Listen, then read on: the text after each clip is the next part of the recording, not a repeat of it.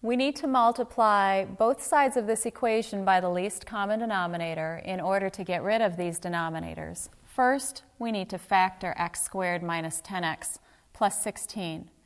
We have x over x minus 8 plus 6 over x minus 2 equals, and on the right hand side, x squared minus 10x plus 16 factors into x minus 8, x minus 2.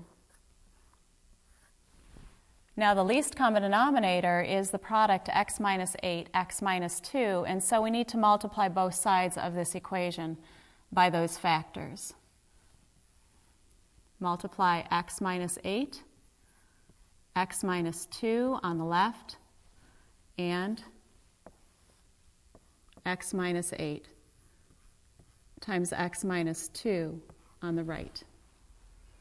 x minus 8 times x minus 2 times x over x minus 8 gives us that numerator of x times this factor x minus 2.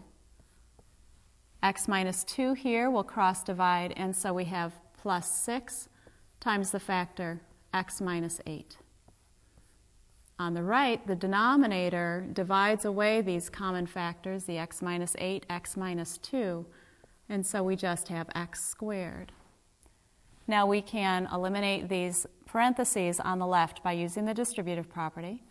x squared minus 2x plus 6x minus 48 equals x squared.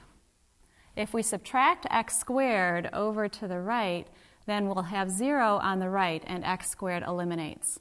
Negative 2x plus 6x is 4x minus 48 equals 0. Adding 48 over to the right hand side, 4x equals 48. And then dividing by 4, x is equal to 12. And be sure that this solution is okay in the original equation so that we don't get a denominator of 0. 12 minus 8 is 4, so that's okay. 12 minus 2 is 10, and so that's okay. And if 12 is the value of x here, that will not be 0 in the denominator. So x equals 12 is our solution.